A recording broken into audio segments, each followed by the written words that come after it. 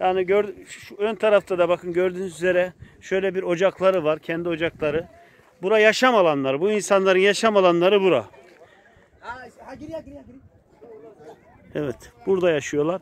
Bu şekilde böyle binlerce böyle kamp var. Buralarda yaşıyorlar.